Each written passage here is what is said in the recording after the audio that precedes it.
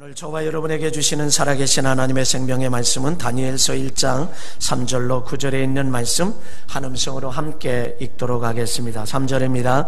왕이 환관장 아스부나스에게 말하여 이스라엘 자손 중에서 왕족과 귀족 몇 사람 곧 흠이 없고 용모가 아름다우며 모든 지혜를 통찰하며 지식에 통찰하며 학문에 익숙하며 왕궁에 설만한 소년을 데려오게 하였고 그들에게 갈대아 사람의 학문과 언어를 가르치게 하셨고 또 왕에 지정하여 그들에게 왕의 음식과 그가 마시는 포도주에서 날마다 쓸 것을 주어 3년을 기르게 하였으니 그 후에 그들은 왕 앞에 서게 될 것이더라.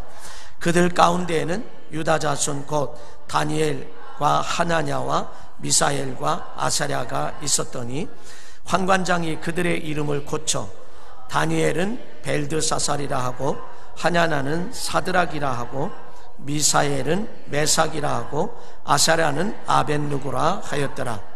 다니엘은 뜻을 정하여 왕의 음식과 그가 마시는 포도주로 자기를 더럽히지 아니하리라 하고 자기를 더럽히지 아니하도록 환관장에게 구하니 하나님이 다니엘로 하여금 환관장에게 은혜와 국류를 얻게 하신지라 아멘. 어, 이제 성탄절이 어, 내일 모레 글패 다가왔습니다. 어, 성탄절은 우리는 산타크루스 할아버지로 생각하고 어, 성탄 트리로만 생각하는 그런 오늘의 이 시대에 성탄절은 그게 아니라 바로 예수 그리스도가 이 땅에 저와 여러분을 어, 사랑하고 저와 여러분에게 어, 죄를 씻음받게 하고 대신 죄를 지시고 어, 십자가를 지셨기 까닭에 우리에게 구원의 길, 생명의 길, 은혜의 길, 축복의 길을 열어 주시고 주시기 위해서 이 땅에 오신 날이 바로 이 성탄절이라고 하는 사실을 저와 여러분들이 기억하지 않을 수가 없습니다. 이 성탄절에 저는 이 기쁨의 성탄절, 메리 크리스마스, 성탄절의 이 기쁨의 성탄절에 저는 여러분들에게 좀 무거운 말씀을 좀 서두에 나누도록 그렇게 합니다. 아, 여러분 성경에서 우리가 볼 때에 성경에서는 죄를 두 가지로 말하고 있습니다. 하나는 하라, 하라라고 하는 근데 하라고 하는 그 말을 하지 않는 것, 다른 말로요 생략하는 것. 이것이 죄라고 하는 것.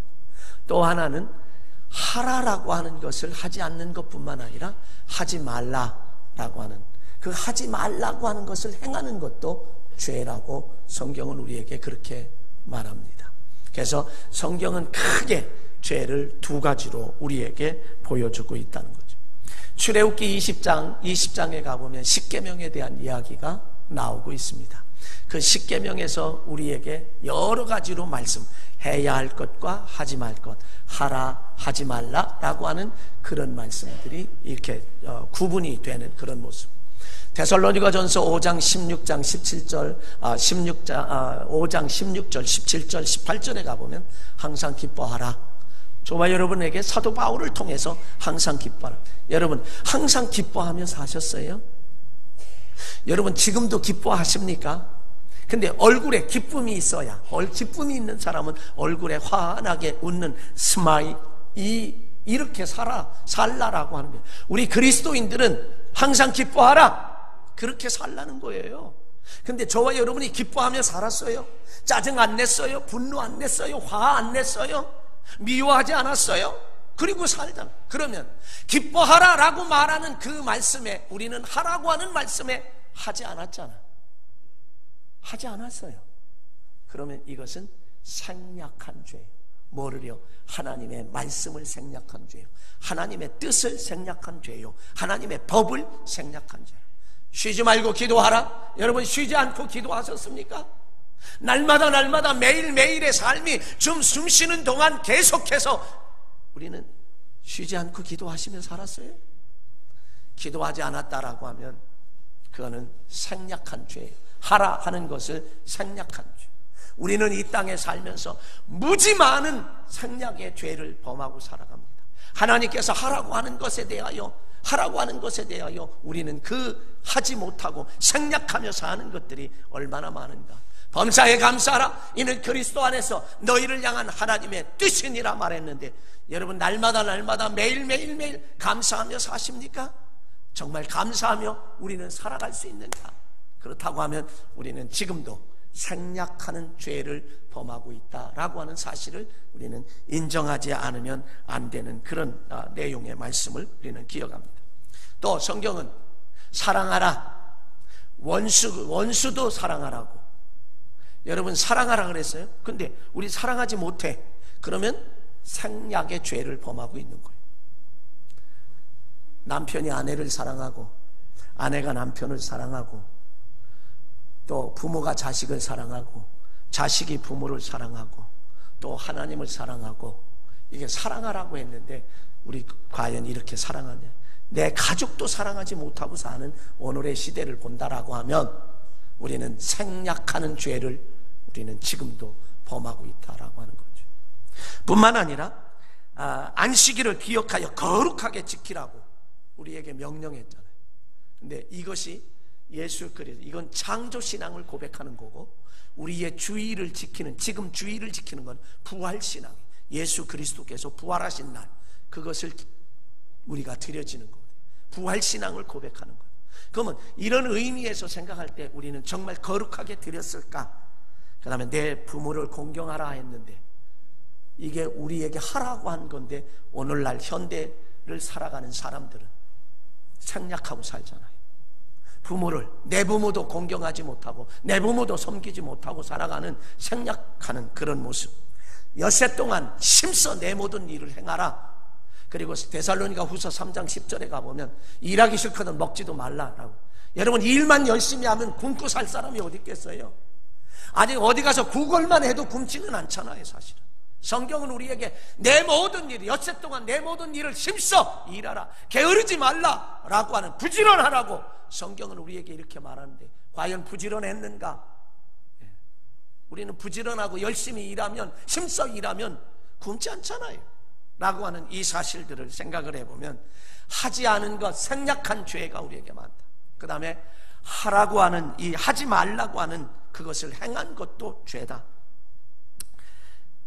출애굽기 20장에서 나 외에 다른 신을 두지 말라. 너를 위하여 새긴 우상을 만들지 말라. 우상을 절하지 말라. 섬기지 말라. 이렇게 말했어요. 근데 여러분 저와 여러분에게 우상이 없나요? 하나님 외에 다른 신이 없습니까? 하나님보다 위에 있는 신은 없나요? 저와 여러분들이 생각해 볼 때 정말 하나님 외에 섬기는 것, 절하는 것 없나요? 하나님보다 더 사랑하는 것, 하나님보다 더 우선, 우선순위에 두는 것, 이게 바로 우상이란 말이죠. 그렇다라고 하면 우리는 지금도 하라고 한 것을 어, 하지 말라라고 한 것을 행한 죄가 우리에게. 살인하지 말라 그랬어요. 살인하지 말라라고 했습니다. 저와 여러분은 지금 살인하지 않았다라고 생각하잖아요. 그러나 예수님은 산상수훈에서 마태복음 5장 21절로 22절에 가보면 형제를 향하여 노하고 형제를 향하여 분노하고 형제에 대하여 화를 내고 형제에 대하여 라가라 하고 라가는 히브리어로 욕설입니다. 욕설이고 그 다음에 미련한 놈이라 말하는 사람. 여러분 미련한 놈이라고 미련한 놈이라고 한두 번 안 해본 사람 어디 있겠어요? 미련한 놈이라고 하는 사람은 지옥불에 들어가리라. 예수님은 그렇게 말해요. 미워하는 것 이것도 바로 우리에게 죄라고 하는 사실을 이야기하고 있습니다. 여러분 지금 내 마음속에 미워하는 것들이 있다라고 하면 지금 이 시간에 예수 그리스도의 이름으로 미워하지 않도록 선포하십시오. 그리고 하나님 앞에도 선포해야 할 것입니다. 그 다음에 우리는 또 간음하지 말라 그랬어요. 근데 성경에 여기 저와 여러분이 간음하지 않았기 때문에 이 자리에 앉아 있죠. 그러나 성경은 예수님은 이렇게 말합니다. 마태복음 5장 27절로 28절에 여인을 보고 음욕을 품는 자마다 이미 가늠했다라고 말해요. 마음만 먹는 것만도 이미 행동을 옮긴 것으로 생각만 한 것도 행동을 옮긴 것으로 또 우리에게 거짓 증 거짓 증거하지 말아라. 다른 말로 거짓말하지 말아라. 이웃의 집을 탐내지 말라. 탐안 내봤습니까? 그렇다라고 하면 우리 성경에서 본다라고 하면 그래서 로마서 3장 23절에 가보면 모든 사람이 죄를 범하였으며 하나님의 영광에 이르지 못한다. 로마서 6장 23절에 가보면 죄, 죄의 싹은 사망이다. 죽음이다라고 우리에게 거예요. 그러므로 저와 여러분들은 바리새인과 세리의 기도, 바리새인과 세리의 기도 가운데 세리는 뭐라고 얘기했죠? 나는 일회에 두 번씩 금식하고 소득의 10분의 1을 드리고 토색하지 않고 불의하지 않고 가늠하지 않고 저기에 있는 세리와도 같지 않습니다. 자기를 의롭다고 말하는 거예요. 기도하면서 성전에서 자기를 의롭다고 지금 이야기하는 거예요. 그런데 세리는 감히 얼굴을 들지도 못하고 구부려서 주여 나는 죄인으로소이다. 한마디 딱 할 때 누가 의롭다함을 받았느냐? 죄인이라고 말하는 의인이요. 의인이라고 말하는 죄인이었었다라고 하는 사실을 우리는 기억하지 않을 수가 없습니다. 그러므로 우리는 세리와 같이 주여 나는 죄인으로소이다 라고 말할 수밖에 없는 거죠. 그럴 때에 불쌍히 여겨주시고 극률이 여겨주시고 자비를 베풀어 주셔서 우리를 의롭다라고 인정하는 것. 예수 그리스도를 믿음에 하나님을 믿음에 의롭다 인정해. 창세기 15장 6절에서 어, 아브라함이 하나님을 믿으니 그 믿음을 의로 여기셨다라고 하는 것. 우리가 하나님을 믿으니 예수 그리스도를 믿으니 의롭다 죄 없다 인정해 주시는 것이지 우리가 죄가 없다는 이야기는 또 이 죄에 대해서 원어적인 의미 두 가지를 생각해 봅니다. 하나는 히브리어로 하카라고 하는 원어를 씁니다 이것은 탈선한 거예요. 이탈된 거예요. 벗어난 거예요. 네, 탈선하고 벗어나고 어, 이제 어, 이탈된 거예요. 자, 기차가 레위리를 달립니다. 기차는요 다른 길을 갈 수가 없어요. 다닐 수도 없지만 기차는 레위리를 달려야 돼요. 거기서 벗어나면 탈선이고 이탈되면 그건 뭐 이탈되고 그리고 벗어나고 어, 거기를 떠나면 그거는 탈선이에요. 그러면 많은 사람들이 부상을 당합니다. 재산상의 손해를 입습니다. 더 더군다나 또 생각해 보면 심하게 되면 장애를 입기도 하고 어떤 경우에는 죽기도 합니다. 왜? 탈선됐을 때. 그러므로 저와 여러분들은 어떻게 살아야 되느냐? 죄라고 하는 것이 이 하카라고 하는 것은 말씀의 레일 위를 달려야 되는 거죠. 저와 여러분의 인생을 살 때 말씀의 레일 위를 달려갈 때에 아무런 문제가 없다라고 하는 사실입니다. 근데 우리는 그 말씀의 레일 위에서 벗어나고 말씀의 레일 위에서 탈선하고 말씀의 레일 위에서 이탈하고 예, 그런 모습들도 우리는 그것도 성경에서는 바로 죄라고 말합니다.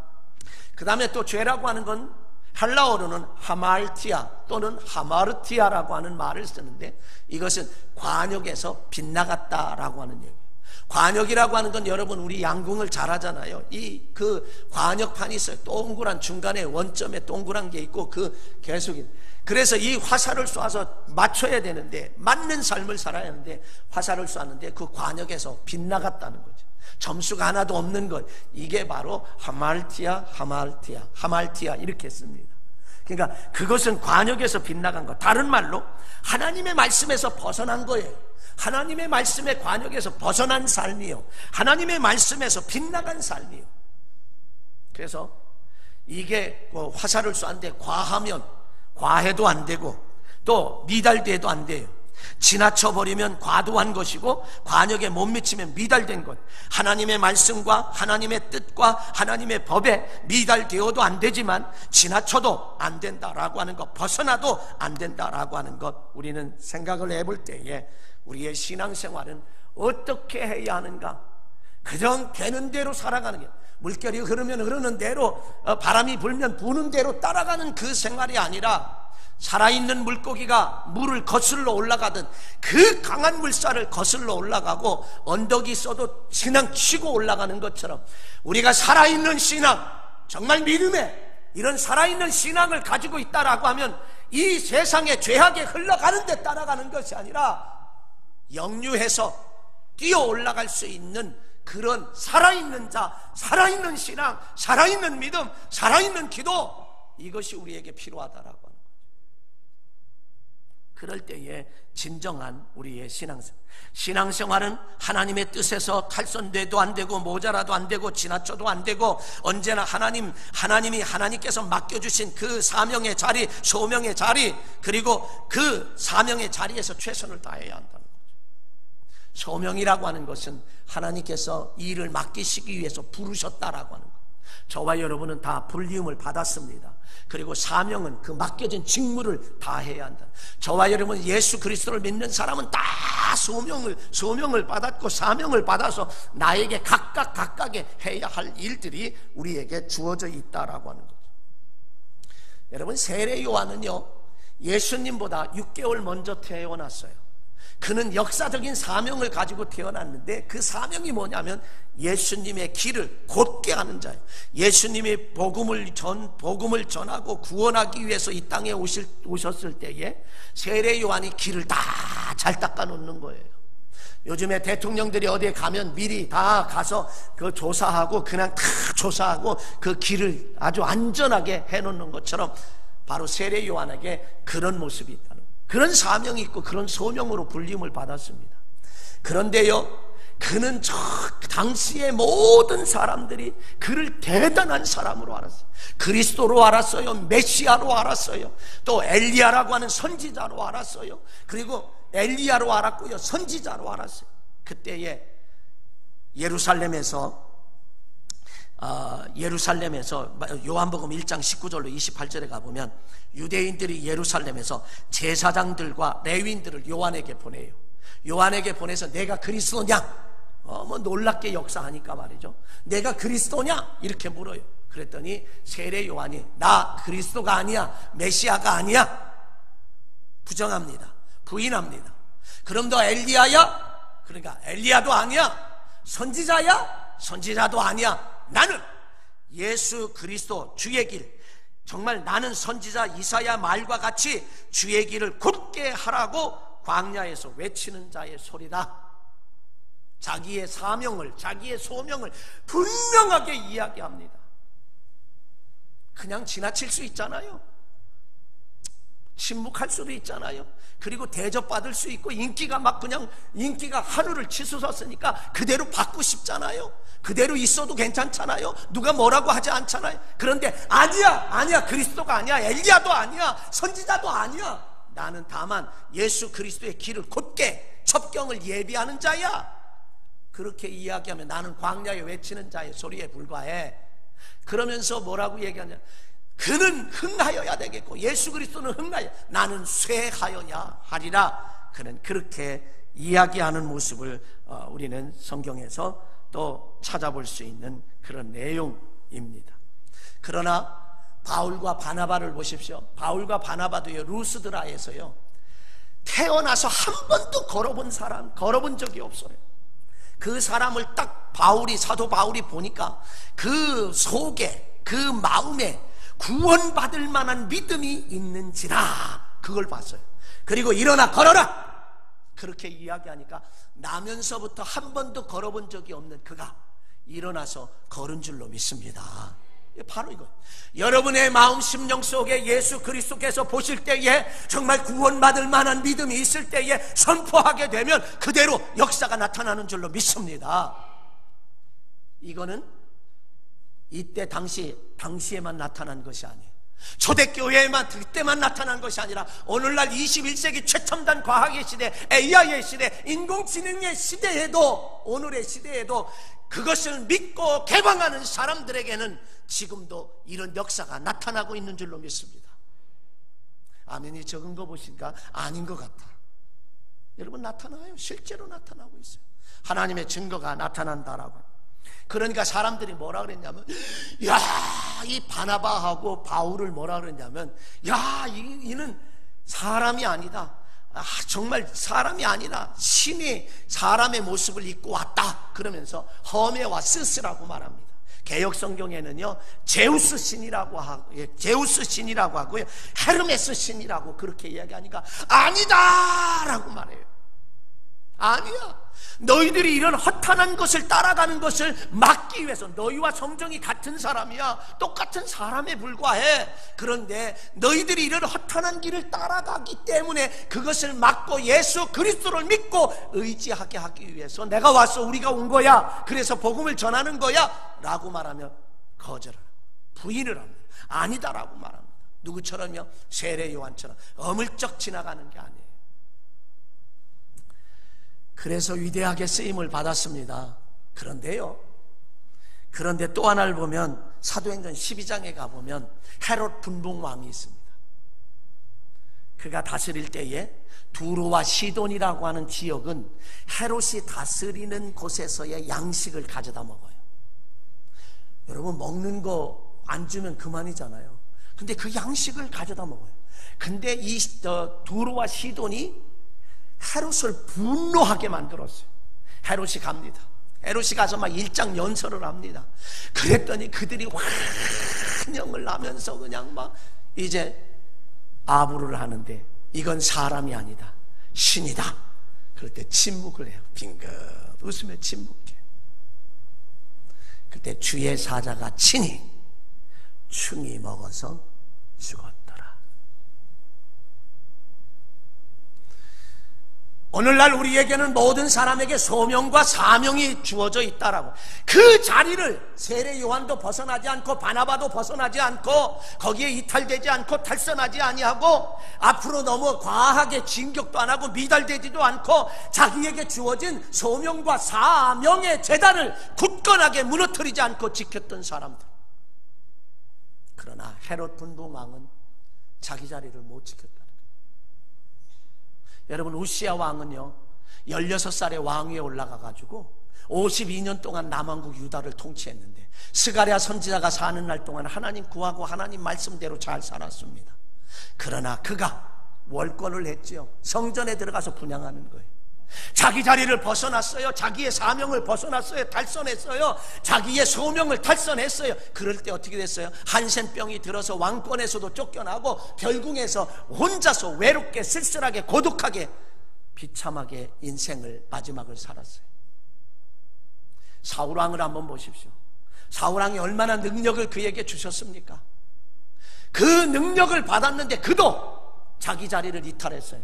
자기의 사명과 소명의 자리, 소명의 재단이 무너졌어요. 그도 역시 뭘 꺼냈습니다. 자기 자리 못 지켰어요. 자기의 위치 못 지켰어요. 사무엘 선지자가 오기 전에 번제를 자기가 드려버렸어요. 백성이 막 군인들이 도망가니까 어떻게 됐죠? 그의 마지막 생에 얼마나 비참하게 끝났는지 여러분 알잖아요. 이렇게 끝났어요. 여러분 우리 신앙생활 한다는 것 하나님의 주신 각자에게 주신 소명과 사명이 다 달라요. 그 자리 벗어나면 안 됩니다. 어떤 사람은요 이 건물의 기둥과 같이 이런 기둥 있잖아요 나온 기둥 기둥 속에 있는 철근과 같은 역할을 하는 사람들이 있어요. 보이지 않아요. 나타나지 않아요. 그러나 기둥과 같이 굳게 버텨주고 있는 사람. 때로는 여러분 이렇게 말할 수 있습니다. 내가 왜 남들은 그냥 다 그러지 않는데 나는 왜 이렇게 어렵게 일을 하느냐고 속상해하고 그리고 속상해할 뿐만 아니라 섭섭해하고 이럴 생각 그런 마음도 때로는 왜 나만 이렇게 열심히 해야 되는가? 나에게 주어진 사명이 나에게 주어진 소명이 때로는 드러나지 않고 알아주지 않다 할지라도 그 일을 하나님은 잘 감당하기를 원하신다라고 하는 이 사실을 기억해야 돼요. 여러분 이 소명과 사명의 재단이 무너지면 안 돼요. 다시 말하면 탈선하거나 이탈하거나 벗어나고 모자라도 안 되고 넘쳐도 안 되고 내 자리를 내 위치를 지켜야 돼요. 마태복음 26장에 가보면 예수님께서 예수님을 이 땅에 무엇 때문에 오셨어요? 저와 여러분의 죄를 십자가에 못 박혀 대속하시고 구원하시기 위해서 오셨다. 그게 예수님의 소명이고 사명이에요. 겟센만의 동산에서 마태복음 26장에 겟센만의 동산에서 아버지 할만하시거든 이 잔을 내게서 지나가게 하옵소서. 십자가를 지고 죽는다는 것이 얼마나 얼마나 무섭고 힘들고 고통스러운 것을 아셨기 까닭에 아버지 할만하시거든. 이 잔을 내게서 지나가게 하옵소서. 그러나 내 원대로 마옵시고 아버지의 원대로 되기를 원하나이다. 세 번씩이나 그렇게 간구하죠. 그래서 그 사명을 그 소명의 재단 사명의 재단을 무너뜨리지 아니하고 그리고 그것을 쌓아 나갔을 때에 지금은 하나님 우편에서 저와 여러분을 위해 기도하고 계신 줄로 믿습니다.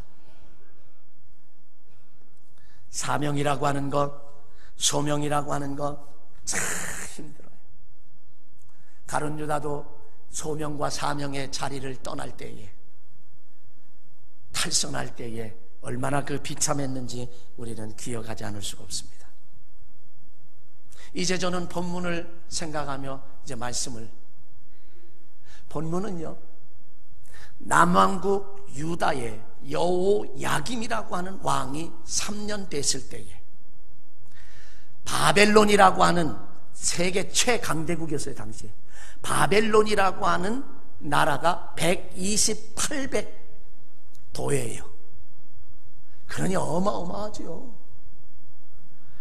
바벨론의 느부갓네살 왕 때에 남왕국 유다 왕 여호야김의 3년째에 침략을 내서 예루살렘이 초토화됐습니다. 그때예요. 바벨론 느부갓네살 왕은요. 그 예루살렘에 있는 소년들, 다시 말하면 남자 어린 아이들, 남자 어린 아이들 가운데 왕족과 귀족과 그리고 인재들을 뽑아서 포로로 잡아갔어요. 포로로 잡아갈 때에 그 아이들까지 잡아갔어요. 아이들까지 잡아가가지고 왕국에서 그들을 기거하게 해요. 그래서 왕궁에서 기거하며 왕이 먹는 음식을 먹게 하고요. 왕이 마시는 포도주를 마시게 하고요. 그리고 그들의 그들의 학문 갈대아의 학문 그리고 언어를 가르쳐요. 다시 말하면 인재 양성을 하고 있습니다. 근데 거기에는 바벨론의 저 어린 남자 아이들도 뽑아오나 인재들을 뽑았잖아요. 그런데 예루살렘에서 붙잡아 간 사람 가운데 다니엘이란 사람이 있고 나중에 이름이 바뀌어서 사드락과 메삭과 아벤누고라고 하는 사람도 거기에 포함이 되었습니다. 여러분 미국이라는 나라가 유럽의 20 몇 개국이 합쳐도 미국 하나를 당해내지 못해요, 지금. 왜 그럴까요? 미국의 휴스턴에 나사라고 나사국에 있는 나사라고 하는 게 있는데 우주 왕복선 뭐 이런 거만 돼. 거기에는요. 외국의 석학들, 머리 좋은 사람들, 인재들 다 데려왔어요. 자기네 시민권 주고 다 주고 넉넉한 생활을 하게 하고요. 당해낼 수가 없는 성경에 나타낸 바벨론의 느부갓네살 왕의 정책입니다. 대한민국은요, 이게 어느 나 교계나 학문계나 뭐 이런 다 마찬가지. 인재들은 그냥 금방 어떻게 하든지 다 그냥 쓸어 제키는 게 이 대한민국의 약점이에요. 인재를 키워서 막 세계에 드높여야 되는데 그렇지 못해. 미국의 힘이 거기에 있죠. 그런데 느부갓네살 왕 때 그렇게 했어요. 근데 이들이 가서 왕의 진미를 먹고 왕의 음식을 먹는데 다니엘이요 딱 거절합니다. 왜요? 하나님의 말씀에 하나님의 법에 하나님의 뜻에 고기를 먹어서는 안 되고 이것을 내 위기에서 말하는 먹어서는 안 될 음식들이 막 진미가 쏟아지니까 거절을 해요. 그를 맡았던 황관장이 이렇게 말합니다. 솔직하게 얘기해. 너희들이 이 음식을 안, 안 먹고 너희들이 빼빼 마르고 좀 잘못되면 내 목 따라라. 그러니 먹어라 제발. 사람은요 인정에 약한 것이 사람들이에요. 그런데 다니엘은 뭐라고 얘기한지 아세요? 나를 한번 시험해 보세요. 열흘 동안 나는 채식을 채식을 하겠습니다. 왕의 진미를 먹지 않고 채식을 하겠습니다. 그때에 내 몸이 축나거들랑 그 왕의 진미를 먹은 아이들보다 내 몸이 축나거들랑 그때 내가 먹겠습니다. 열흘이 지난 다음에 보니까 더,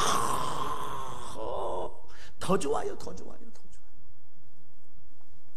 그런 위기를 정말 하나님의 말씀, 하나님의 그 말씀과 하나님의 법도와 하나님의 뜻에 소명과 사명의 재단을 무너뜨리지 않는 어린 소년들임에도 불구하고 소명과 사명의 재단을 무너뜨리지 아니하고 그렇게 살아가는 그 모습 더군다나 포로가 포로가 그 사람들이 뭐가 됐어요? 다니엘은 다니, 다리오 왕 때, 느부간, 어, 느부간네살 왕 때 잡혀갔는데 다리오 왕 때 총리가 됐는데 세, 네 명의 총리 가운데 수석 총리가 됐다. 나라를 좌지우지할 수 있는 그런 사람. 사드락과 메삭과 아벤누고 세 친구들은요 고위직 관리가 됐단 말이죠. 그런데 고위직 관리가 됐는데 또 다시 위기가 왔어요. 하나님 앞에 기도하는 사람, 하나님 앞에 기도하는 사람은 굶주린 사자밥이 되겠다. 사자굴 속에 집어넣겠다. 세 친구에게는 평소보다 금신상을 만들어 놓고 거기에 절해라. 절하지 않는다고 하면 30일 동안 절하지 않으면 7배나 더 뜨거운 풀무불 속에 집어넣겠다. 타 죽게 불태워 죽이겠다는 거예요. 물론 왕이 소금을 속임을 당했어요. 그때에 뭐라고 한지 아세요? 다니엘은 예루살렘을 향한 창문을 활짝 열고 하루에 세 번씩 기도합니다.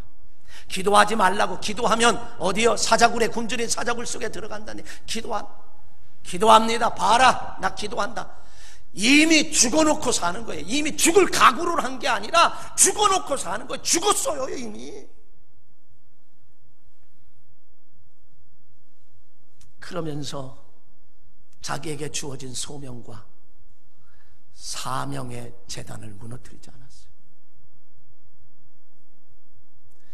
새 친구들 사드락과 메삭과 아벤누고는요 평소보다 7배나 더 뜨거운 풀무불 속에 집어넣는다고 하니 왕 앞에 가서 당당하게 말합니다. 왕이요. 하나님께서 왕의 손에서 나 우리를 건져 주실 줄로 믿습니다. 그리 아니하실지라도 불 속에서 타 죽는다 할지라도 금신상에 절할 수가 없습니다. 그들도 이미 죽어놓고 사는 겁니다. 죽었습니다. 그 순간 그렇게 말하는 순간 이미 죽었습니다. 그래서 소명과 사명의 재단을 무너뜨리지 않고 그들은 승리자가 됐는데 사자굴 속에 던짐을 받았던 다니엘은 사자가 입을 봉, 굶주린 사자가 입을 봉하여 다니엘을 보호하고 있습니다. 나중에 그를 시기하던 자들이 계략인 줄 알고 왕이 그들을 집어 던져라 그랬더니 집어 던지니까 땅에 떨어지기도 전에 다니엘은 그냥 옆에서 품고 있던 그 사자가요 땅에 떨어지기도 전에 받아서 삼켜버렸다라고 성경은 그렇게 그리고 세 명의 친구인 사드락과 메삭과 아벤누고는 그들을 풀무불 속에 집어넣으려고 그냥 양쪽에서 막 붙잡고 가는데 그 사람들은 다 죽었어. 그런데 이 사드락과 메삭과 아벤누고는요 머리털 타지도 않고 그슬린 냄새도 없이 세 사람을 집어넣었으나 왕이 확인을 하니 네 사람이었어. 승리하는 역사가 나타난 줄로 믿습니다. 사랑하는 성도 여러분, 소명과 사명은 이 재단 지키는 것 너무도 힘듭니다. 여러분 신앙생활 하는데 대학 신앙생활 하는 데 있어서도 엄청나게 힘들고 어려운 게일안 하고 아무것도 안 하면 괜찮아요. 그러나 일하지 않을 수 없잖아요. 나에게 주어진 소명, 나에게 주어진 사명을 적은 것이지만 감당할 수밖에 없잖아요. 너무 힘듭니다. 때로는 듣지도 않아야 할 소리를 들을 수도 있고요. 섭섭할 수도 있고요. 그냥 당장 그만 때려치우고 싶은 생각도 없지 않아 있고요. 정말 예전에 말한 것처럼 누가 눈물 없이 뭐 눈물 없이 갈 수 없는 길이 바로 이 소명의 길이요 사명의 길인데 이것이 나에게 침이 될 수도 있어요. 침이라고 느낄 수도 있습니다. 때로는 아픔도 다가와요. 때로는 고통도 다가와요. 때로는 손해도 다가와요. 그럼에도 우리는 소명과 사명의 이 재단을 무너뜨려서는 안 될 줄로 믿습니다.